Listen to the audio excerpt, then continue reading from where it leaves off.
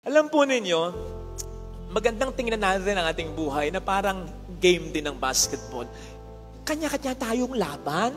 Dahil sa ating mga katungkulan, halimbawa, ako na pare, ikaw na madre, halimbawa, doktor ka, nurse ka, o mga ordinaryong mga trabaho na mararangal, ay, ilagay mo pa dyan yung katungkulan natin sa pamilya. Ikaw, bilang may asawa, ikaw bilang may anak, ikaw bilang may mga magulang na inaalagaan. Ikaw bilang taong may sinusuportahan. Ikaw bilang taong lumalaban hindi para sa sarili mo, kundi para sa iba.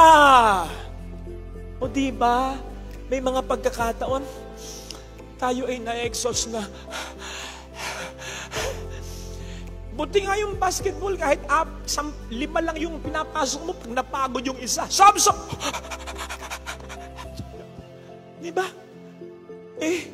Ikaw pwede bang magpasok? Kagabi, la pa ako ganong sermon. Gusto ko nang gumawa, gusto ko nang mag-reflect, may naisip na ako kahit paano, pero hindi ako makapag-isip. Alam niyo kung bakit? Diba, parang hinahatak ako ng kama. At parang, alam niyo yun yung parang tinatamad ka na, ay, mamamahinga ka tapos ang dami na namang miss. Ginusto mo yan eh. Ay, bakit nga ba gano'n? Alam niyo yung feeling na, kasi may nag-text sa akin, dapat may assistant ka dyan. Hindi naman ako pwedeng magkaroon ng assistant kasi maliit lang na parokya at ako'y bata pa. Alam niyo yung feeling na, oo nga, dapat may shop. Shop. Pagod na ako, wala na akong boses. Wala naman eh. Eh ako, pwede pa kahit papano. Sabihin ko, ay hindi ko talaga kaya. Father, sub naman. Ikaw, hindi. Pwedeng may mag-sub sa asawa mo, sa buwisit mong asawa? Wala. Pwedeng sasabihin, Mare, sub mo naman ako. Hindi ko na kaya itong pasakit ulong anak ko. Wala. May pwedeng suma bilang manugang ng impacta mong biyanan? Wala. Ikaw wala. At kahit meron sasabihin nila, ayoko, ayoko. Ikaw nga, hindi mo mapagtiisan. Ako pa. Di ba? May mga pagkakataon, kumbaga sa basketball, exhaust, walang pwedeng mag-sub. Tapos, you're not on, in the groove, hindi ka makashoot. Walang magandang resulta. At tambak na tambak ka. Tambak ka ng gawain, tambak ka ng problema, tanggap, tambak ka ng alalahanin ako. Ay, dito gagana. Dito mo asahan yung home court advantage natin. Habang lumalaman ka, please, wag mo lang imagine, you claim it. May mga nakasubaybay, may mga nagdarasal, may mga nag-cheer, may na mga nagro-root para sa atin. Halimbawa, abay, may problema ka, halimbawa, sa mga superiors. Oh, nandyan si Padre Pio. Sabi ni Padre Pio, huwag kang mag-alala sister, naranasan ko rin yan, kakayanin mo rin yan. O halimbawa, mayroon kang problema, may sakit ka o may sakit ang mahal mo. Ay, nandyan si San Camilo, sasabihin sa'yo, huwag kang mag-alala, kakayanin mo yan. Nag-alaga din ako ng may karamdaman. Huwag kang mag-alala, may biyaya para dyan. O halimbawa, may problema ka sa bisyo mo, sa kasalanan mo. Sabi ni San Agustin, ako nga eh, ang tagal kong makasalanan. Akalain mo nakapagbago ko sa tulong ni Kristo. Naging santo pa ako. Oh, may problema ka sa mga pet mo. Sabi ni St. Francis, ako bahala. Ipagdarasal ko rin yung aso mo. O halimbawa, may problema ka sa biyanan mo. Ay, sabi ni Santa Monica, huwag mong lasunin ang biyanan mo, anak. Ha? Kaya mo yan. Ako nga, dalawampung taon nagtiis na kaya ko. Ah, sa awa ng Diyos, nagbago naman. Mga ganun ba? Sigurado may sakto na santo. Ito yung sinasabi ng ibang mga reliyon.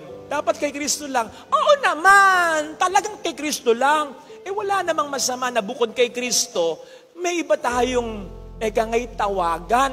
Hindi naman sila ang pinanggagalingan ng biyaya, nagpapatulong lang tayo magdasal para sa kanila. Eh besides, sila rin naman ay naging banal katulad ni Kristo. Dahil kay Kristo, kaya ililid din tayo nila kay Kristo. Mga kapatid, ito ang dahilan kung bakit may mga santo at santa tayo. Isa sa mga dahilan para sila'y magdasal para sa atin at walang masama doon.